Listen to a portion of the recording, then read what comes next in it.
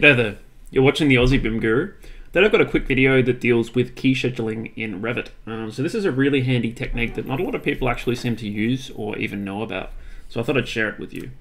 Um, so what are they? Well, they essentially give you many ways of controlling, locking down and delimiting the data that you can apply to elements in your model. This could be, for example, the orientation of a window. Obviously, you'd only really want to let people say maybe one of four orientations. The key schedule allows you to delimit this as well. Now there's other uses that I'll show you, such as locking down the values of elements based on a single key.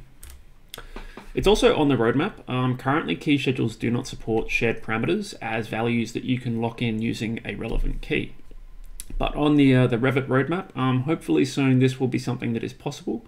And I think that once this is integrated, um, key schedules will probably be, be used in a more widespread fashion because a lot, obviously a lot of companies they use um, shared parameters. Oh, so many notifications these days. Sorry. So today's context model I'm going to be using is actually just a, a basic house that I've set up using a simplified version of my template, um, all of which can be found on my online store over at BIM Guru if you're looking forward to. Anyway, um, let's just dive straight in and get started. Okay, so I'm here in um, my sample basic project, um, and I'm just going to go to 3D and just show you how I've set up the keys. I'm just going to turn off my Enscape layer just by changing phase. Um, so in this case, there's a couple of key schedules I've already set up in this project, for example. Um, one of them relates to windows. So the windows have been given a key value of their orientation. I've also got one that controls the type of glazing the window contains and also the frame type.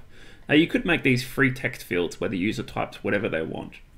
But a key schedule in this case um, gives us a way to limit the data. So when I drop this down, you can see I only have four options available. And if I type something outside the possibility of the option, such as down, so obviously not a good orientation, you can see it doesn't allow the population of that value. Um, so this is a really handy way to limit the data that's possible to populate. Now, how have I set this up? Well, the first thing I'm going to do is just get rid of this key. So I have a window schedule for keys um, that deals with the orientation. Now, keep in mind that key schedules are a bit of an all-in approach. If you do use them and then you delete the key schedule, the key disappears and any values that were set by that key are also removed, even if they were parameters that were there before the key was. So you do have to be really careful that you protect your key schedules. Usually I recommend using a browser organization uh, that does give you the option to sort your key values. For example, here I'm using a parameter for the user to specify um, how the key values are sorted in the browser. And then I put them all under one area. So I'm, I'm controlling them just using a shared parameter that I've applied to schedules and on a text basis. Okay, but as soon as I get rid of orientation windows, the key is gone. And so is that value. So you do need to be careful. Anyway, let's actually create this key schedule. So I'm going to go to view, schedules, schedules and quantities, and I'm going to find the category that I want to assign the key to, in this case, Windows. Um, I'll just call this uh, my syntax. So I use a star key, and then I'll just call this orientation. And usually I put in brackets what the category is. That way the user on face value has a good understanding of what the key is doing. Then you click on schedule keys and you give a name to the key and you can rename this later so don't worry if you get it wrong um, but it's good to obviously get it right first so I'm just going to say orientation as the name of the key. I'm going to OK that now at this point you can add other fields sometimes that the key can control. In the case of Windows you don't really have a lot of options, um, but you can add project parameters which keys can control. Uh, but as I said before, shared parameters are currently not available um, in Revit itself. It's, it's an upcoming feature, apparently. Uh, fingers crossed. It's on the roadmap, so that's a good sign. Anyway, we're just going to say OK. Um, and you get an empty schedule, so a bit confusing, like what's the point of the schedule right now? But if you click on the schedule and you just start inserting data rows, we're essentially adding keys um, to the schedule. So we can rename these to north, south, east, and west. Now if I go back to my model and I select this window, I now have a key under identity data for orientation. Um, I can change this. In this case, I can pick east, north, south, or west. Um, so now I can just basically isolate all my windows, select all my south facing windows, choose south, find all my my east facing windows, make them east, all my north, and I can set them to north, and likewise east. Ah, sorry, west. What am I doing? so super simple. Um, and then as a result, you can also go to things like actual schedules, like a window schedule, and you can add this field. So after glazing, I can also add the key, uh, should be orientation. And now we've captured that key value as well. And if you're in the schedule too, you're also limited to what you can pick. Um, so it's a really handy little schedule if you have a set of data that you want your users to work with. Now another function of key schedules is using the key to lock in pre-existing parameters. A really good example of this is room finish schemes, um, which is usually what I've been using key schedules for in the past. So if I go to a floor plan and I select one of my rooms, such as this media room, you'll see in this case that my name and my finishes are grayed out, they're locked. And this is because I've created a finish scheme I'm also using the finish scheme to drive the name of the room in this case. Um, because it's a residential project, usually the room names are very predictable. Um, houses typically only have a preset possibility of the types of rooms they tend to contain. So what I actually have is a key schedule for rooms um, that is set up for finishes. And you can see here my key name is the name of the room, and I've added parameters that pre-exist, but we're going to set this up again.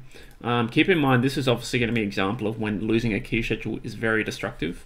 Um, because not only am I going to lose all those finish values, I'm also going to lose the names of the rooms. So as soon as this is gone, we're going to actually lose a bit of data, I believe. Um, in this case, yeah, so if I take my room tag and I move it, um, you can see that the room tag now understands that there are no, no values on these elements. Um, so it's pretty destructive if you lose the key schedule um, or if you don't understand the values are being mapped using a key schedule.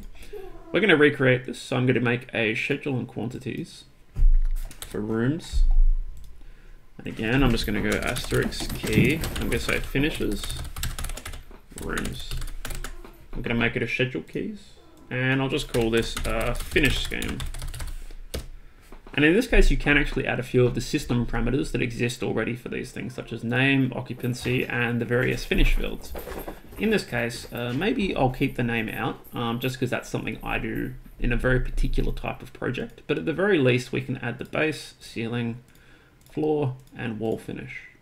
And we can set up some basic finish schemes by adding some data rows. I'll just zoom in a bit. And let's just say we've got um, typical uh, wet areas Let's just, let's just have two finish schemes actually, that's probably enough. Um, and we can say the typical base finish, which is the skirting, is timber. Typical ceiling uh, can just be plasterboard.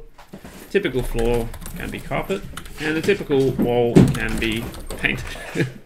Sorry, some cats going crazy in the background. Um, what areas we can say the base finish is tiled skirting. The ceiling is, again, plasterboard. The floor is tiled, and the wall finish is painted slash tiled. So it's a bit of both. Now keep in mind, this is just data. This isn't locking in any modeling conditions, but it's a good way to sort of lay out a brief for your rooms before you get too detailed into your modeling process. For example, during a schematic phase, maybe you just want to schedule what the room finishes are and then use the room areas to tally the total quantity of finishes. Got Kitty Smackdown in the background. Um, so let's just go back to this media room.